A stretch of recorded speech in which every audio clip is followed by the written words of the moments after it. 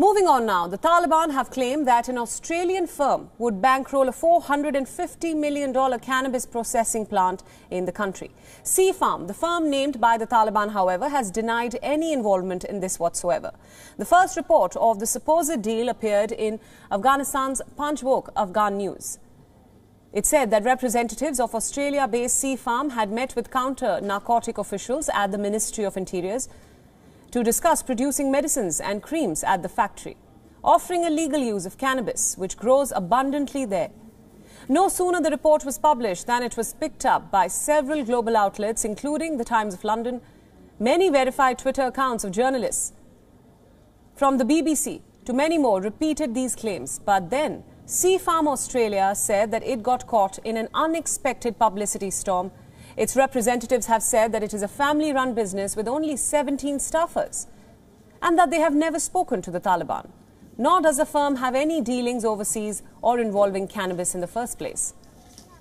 C-Pharm Australia's Chief Financial Officer Tony Gabbitas says, and I quote, we're just trying to work out what we're going to do to stop it. We've had probably 40 or 50 calls today. It's just out of control and it's just all lies. Media guys not doing any due diligence on what they want to publish. That is what C-Pharm Australia has said. The CFO also said that he suspects a report stemmed from a tweet by a Taliban linked account which named a company called C-Pharm. Earlier, the Taliban press director Saeed Khosti posted on Twitter, he writes, and I quote, all the stages of the contract with C-Pharm have been completed and in a few days the project will be officially launched which will create jobs for many citizens. Reports cite Khosti saying that the company, which would be given access to nearly 6,000 acres of land for cultivating cannabis to produce medicinal creams, ointments and other topical cannabis-based products.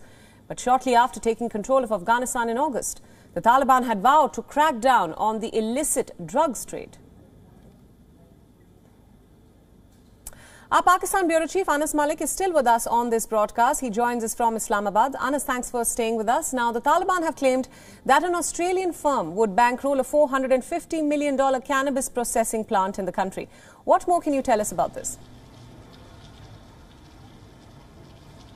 Well, uh, to clarify, uh, because we saw a lot of uh, controversy around the fact that whether it was an Australian firm uh, or not, uh, well, the Taliban's Ministry of Interior spokesperson Qari Said Khosti, in an exclusive comment to me, he has said that uh, the Taliban government is in talks with the German pharmaceutical company C-Pharm, so it's a namesake of the Australian firm as well, and that is with who they have signed a $400 million deal to set, which will be setting up plants across the country to set a step up uh, cannabis production. Now, what would be interesting is to see how would they be regulating that because following the Taliban takeover, when, when we were reporting from there as well, we saw a strong crackdown against uh, these uh, drug uh, uh, dealers by the Taliban that have been done, and those who were consuming drums, drugs, they were forcefully taken to to rehabilitation centers. Uh, now, if I take you back in time, before the U.S. invasion of 2001, the Taliban had banned the growth of opium however hashish or uh, this cannabis that is something that uh, they used to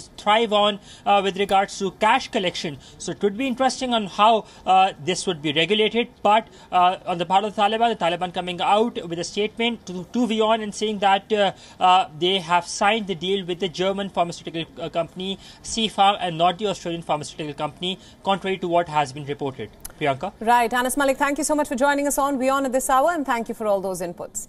WION World is One is now available in your country. Download the app now and get all the news updates on the move.